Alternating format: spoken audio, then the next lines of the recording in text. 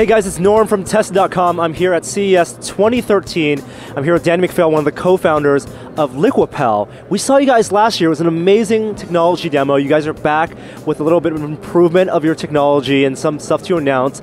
But for people who don't know what Liquipel is, give me the quick primer on what this bonding process is. Sure, exactly. So what Liquipel is, it's a nano coating that we apply to electronics to prevent water damage. Right, so like, you know, 10 years ago when I would buy like a watch and would say, you know, water resistant up to 100 meters, that was all right, but smartphones, sweat would destroy iPhones on armbands, and what you guys have is a, a bonding technology, so for something like this iPhone 5, which does not feel any different than the iPhone 5 I have in my pocket, this is water resistant completely. Right. So uh, what is the process that happens for that bonding? So what we do is we, we take your device and, and end consumers can send in your phone to our uh, headquarters in Santa Ana and we can actually do this process for you. But what happens is we take your device, we place it inside of a chamber, um, uh, almost like an oven if you will.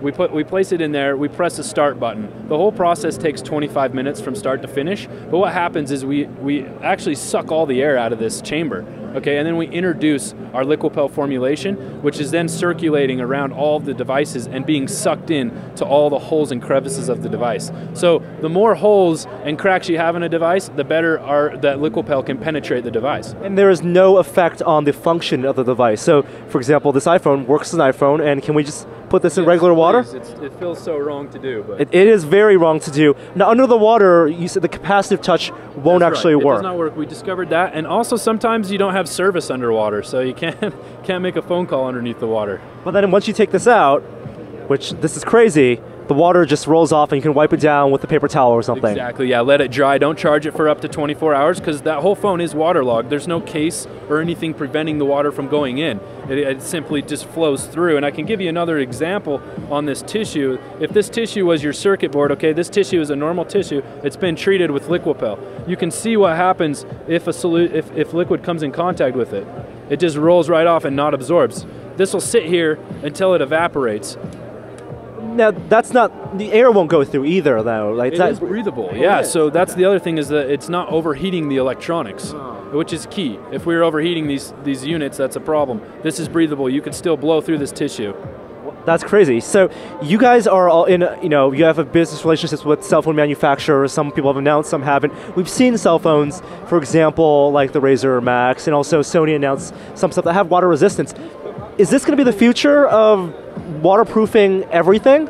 Absolutely. Um, Liquipel is going to become the norm in electronics because we're all born and raised to know that electronics in general, especially your phone, if it comes in contact with any liquids, it's done. It's going to be ruined. You lose your contacts. You have to go through that big pain. We are going to create a standard here for electronics with Liquipel. You're starting with electronics. Are you guys planning on you know applying Liquipel? You know, you did on tissue. Would work on clothing, jackets, other things. Exactly. Yeah. Um, a, a, very exciting vertical for us is the medical industry. Uh, bionic knees. Uh, you know, a lot of these, this equipment can't even be in humid conditions. Uh, with Liquipel, all that's not a problem anymore. So yes, uh, the tissue, as you saw, textiles are, are going to be a big industry, a big vertical for us as well.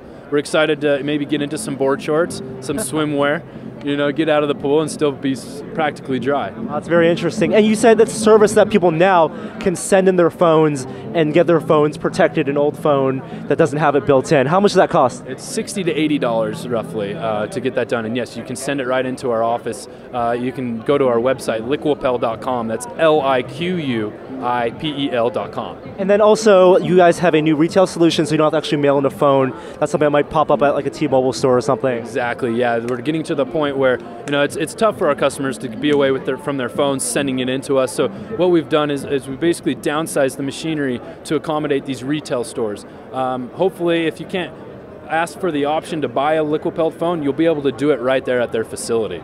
Oh, that's very cool. Well, 70 $80, that's cheaper than a, you know, an extended warranty on a phone. And I look forward to the day when all phones have this technology built in. Danny, thank you so much. I'm gonna put this in water one more time, is that all right? Please, just to make sure it's real. That's just crazy. Thank you so much. Um, I'm Norm from Tested. We'll have more from CES 2013 on Tested.com. I'll see you guys next time. Bye.